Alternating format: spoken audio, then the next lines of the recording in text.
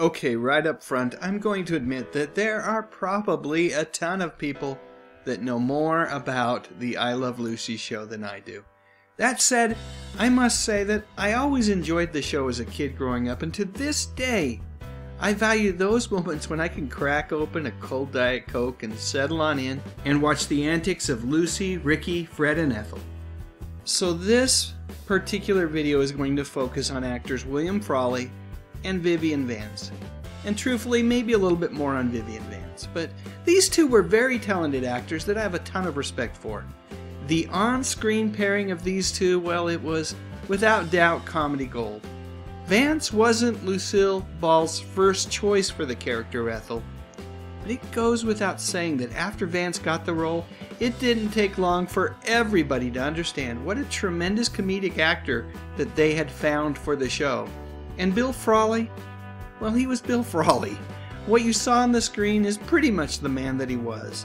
And while Lucy, Desi, and Bill were all very tickled with the way that the show was developing over the course of those first few years, there were certain things that just kind of got Vance's goat. So, to better understand what I'm talking about, let's start here with this picture. Yep, that's Vivian Vance. Sure, she's a few years younger, and no doubt this picture was taken when Vivian was likely in her 20s, long before she was cast as Ethel on the I Love Lucy show at the age of 39, but still, you get my point. Vivian Vance, as the Tubes like to sing in their classic 80s song, well, she's a beauty. And because Lucy was the star of the show, that required Vance to tone down her looks quite a bit. Bottom line, when it came to looks, Lucy wanted to be second banana to no one. By all accounts, that really bugged Vivian. But as Lucy and Vivian's friendship grew stronger and stronger over the years, something else was building up ahead of steam as well. You see, that other thing that really just, like I said, got her goat was the disparity in age between her and Bill. More than once I've read a quote from her that more or less said, That guy should have been cast as my dad, not my husband. Because of the age difference and because of their very distinct personalities, the comedic chemistry that is seen on screen between these two, well, it's the only chemistry that there ever was. In fact, when the two weren't filming together, they made every effort to be nowhere near each other. But like I said, despite their differences, both Bill and Vivian were professionals dedicated to their craft, so they made it work. Watching I Love Lucy as a kid, I had no idea about the off screen turmoil that was going on. I had no idea that Vance has said that upon receiving a script for the show, she would quickly read the whole thing just to see how much she would have to interact with her co star. Frawley, on the other hand, didn't seem to care much about the fact that neither of them really had any true affection for the other. And the turmoil continued as I Love Lucy morphed from a half hour show into the Lucy and Desi hour You've really got to hand it to these two. Behind the smiles, behind the laughter, there was a real chill.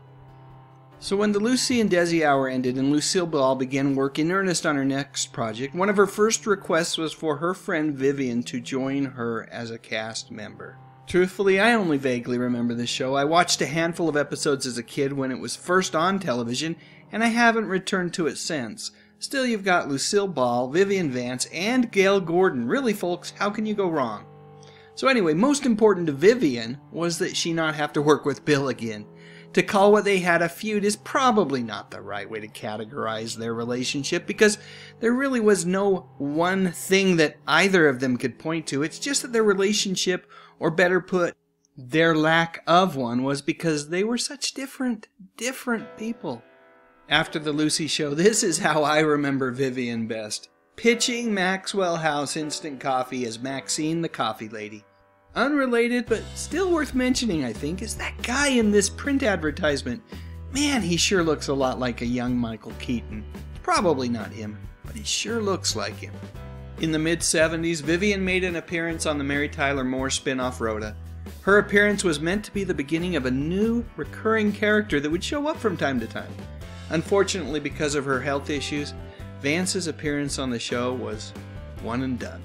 Just looking at this picture reminds me that if you're into Twitter and you're into TV the way I am, particularly stuff from the 60s and 70s, I'd recommend following this guy on Twitter, Silver Age Television. It's at Silver Age TV if you're trying to find it.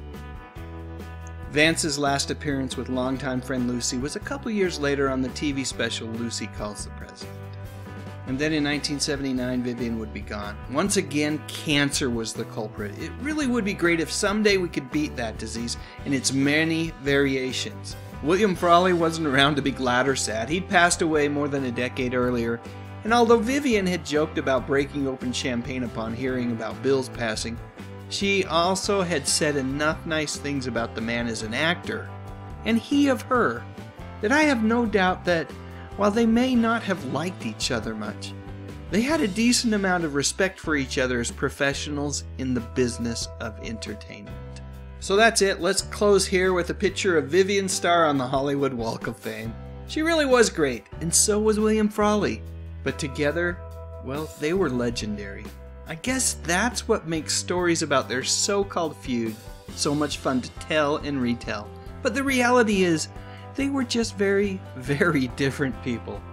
Alright, now it's your turn. Please share your memories in the comments section, and while you're at it, I would appreciate a thumbs up if you enjoyed this video. And what the heck?